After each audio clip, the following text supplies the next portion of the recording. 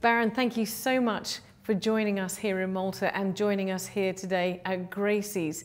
Uh, what a privilege and pleasure it is to have you. The name Rothschild is obviously synonymous with wine and stunningly excellent wines. Why the move across to Champagne? No, uh, the reason why is um, first of all curiosity. Uh, we wanted, we, we've been sort of talking about champagne for many years. Uh, my grandfather, uh, Baron Philippe, had his own, first of all, he was a shareholder of a well-known um, champagne called Ruinart for a couple of years. And then he had his own champagne called Réserve Baron Philippe, which was tiny, a thousand bottles or something. So he, was, he, he loved champagne.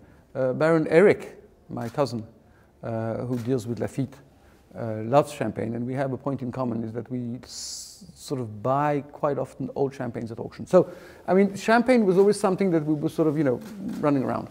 And, and one day we said, okay, hold on. Uh, as, as you rightly mentioned, we have so many wines on the wine lists. We already invade the wine list with all our wines. So maybe it would be more decent to only have one champagne, because otherwise, you know, there would be no space for anybody else on wine lists. So we said, okay, let, let's have one champagne. And, and it was very awkward because it was the first time the three branches of the family, in other words, uh, Eric's branch, uh, Lafite, uh, Mouton, my branch, and uh, Benjamin's branch, which is Clarke and South Africa, um, which, is, which is actually the three branches in, in the family which produce wine. Uh, and it was the first time that we sort of got together around the table and said, hold on, let's try and do, and when I say try, I mean try, and do one champagne. Uh, and as you know, families are always difficult to cope with, uh, you know, because nobody agrees. But it's nothing to do with Rothschild. In every family, nobody agrees, so it's sort of quite normal. So we got everybody around the table, and we said, okay, how, how do we do it? How do we start? And, and people had different views. Some people said, okay, we should buy some land first. And then we said, no, no, let's produce some champagne from, from producers, and then, then we'll see what if we buy land afterwards. And we find this sort of, you know, by sort of brainstorming, we it, decided to do it all together. And it's the first project, and today the only project uh, in the family that we have done together. Um, so I'm very happy because it's really, I mean, it's the, it's, I can say it's the family project. Um, and, and I was around the table and they say, well, do you want to look after it? Because I've been doing a lot of startups and, you know, and, and many things like that in my life and, and, developments. And they said, okay, do you want to look after it? I said, yes, yes, that's a very good idea because I love champagne. So let's, um, let's start from there. And that's where I started 15 years ago. 15 years ago, and the first bottles came out 10 years ago. Because it took us five years to really you know, refine what we wanted to do exactly, what type of champagne, where we wanted our producers, our wine growers to be, and everything. So there was a lot of thinking about it, and, and it really went on for five years. And after five years, the first bottles came out. So let me ask you, what are the, the challenges? What's the difference between producing wine and champagne? What makes champagne different? Um, it's, it's very, it's, um, it, it's very different. It's very different because when we produce our wines, uh, we always try to look for you know complexity, depths, and structure, and, and all the rest. Uh, when you produce champagne, because champagne is is clearly a drink that you know to celebrate, mm-hmm. which is what we like to do in this family. we like to celebrate. So it's it's really a, a, a product to celebrate. So you have to have a product that at the same time is structured and complex, but at the same time is elegant and fresh. So it's, the blending is completely different. And I've been doing some blendings of wine, of, of red wine, and blendings of, of, champagne. And I can tell you that the two blendings are completely, I mean, completely opposite. You're not, you're not blending the same thing, you're not thinking of the same thing, you're not thinking of the same product. So it is wine, at, at the end, but at the end of the day, because it's not the same purpose, um, and it's really a product that's there to, you know, to celebrate and to, to um, in, in, many, in many happy occasions. then, then it's, a, it's a completely different way of, of looking at the product. And it's this freshness and this elegance that we really want to try and find in our champagne. And to be honest with you, and I can say it because I, I am not producing it uh, directly, uh, they, the, the producers, the winemakers have really found this great balance in the champagne, which I absolutely love.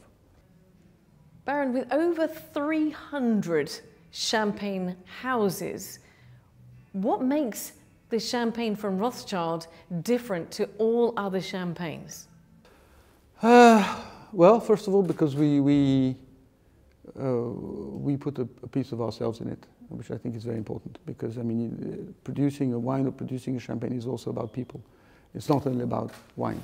And, and you know, when, when you have all these people in this family getting together and saying, you know, that's what we want, that's the pleasure we want to share with other people, uh, already you're starting to do something different from what others have been doing before in the champagne world. That, that's point one. Um, the second thing is we've concentrated very much on um, Chardonnay because that's where we found that the wine growers that we really went on very well with. Um, and, we, and so that's basically all our champagnes are very much focused on Chardonnay, which gives it a, a real sort of freshness. Um, and, and I think it's, it's uh, and then we age it longer than many other champagnes. Even the Brut, normally you age the Brut sort of two years, maximum two and a half years. We age it four to five years because of the Chardonnay. So, so we've got an aging process which is, which is much longer, which gives it a special, specific uh, taste also. And, and for all these reasons, I, I really think that we are very specific, very specific. And the one thing I really focused on when I took on the project, I said to the, the people in the family, I said, hold on, there's two things I'm going to ask you if I have to look after this, this champagne. The first thing is I want at least three board meetings a year. And that was a constraint for them because they, they're all very busy.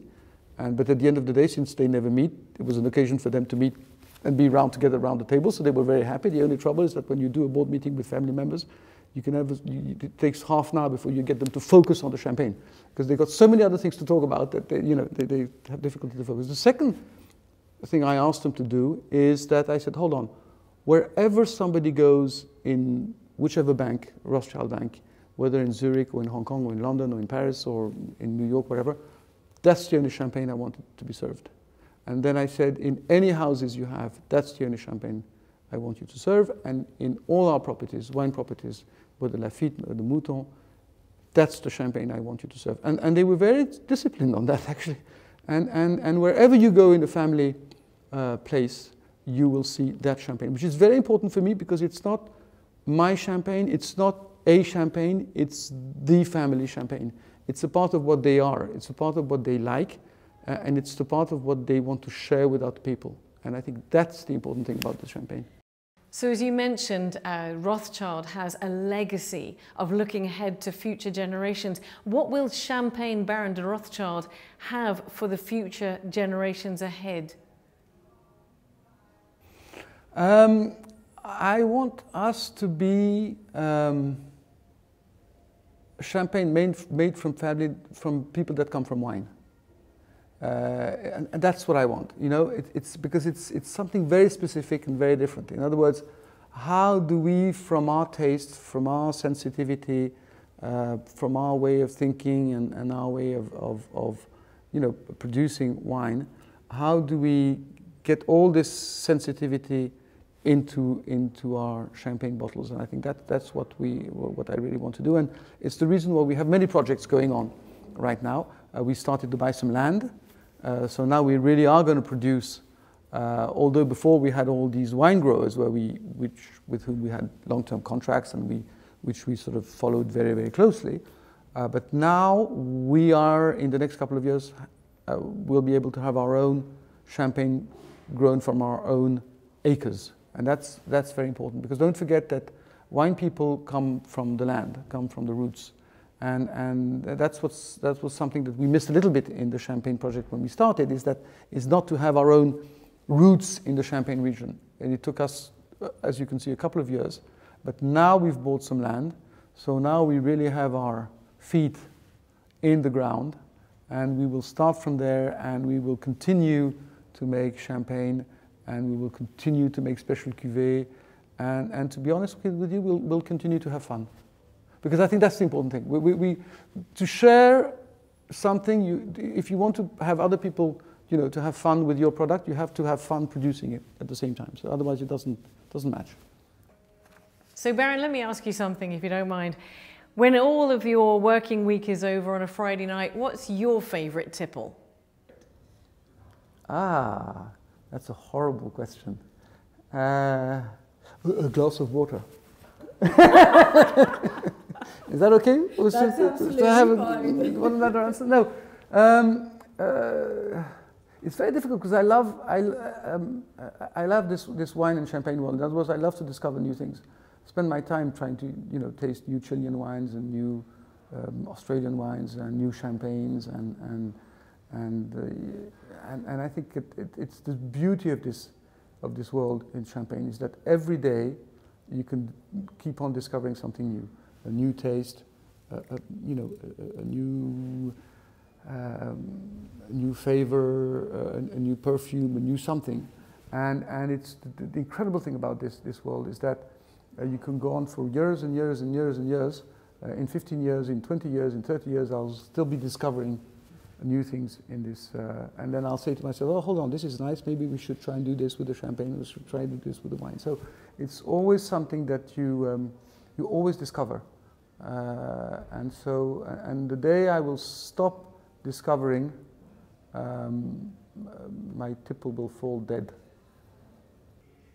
Baron, thank you so much for being with us here at Gracy's and in Malta, and thank you for sharing your passions with us. We do hope you enjoy your stay here in Malta, and uh, thank you for celebrating Champagne Baron de Rothschild with us. We look forward to seeing you again here on the Maltese Islands.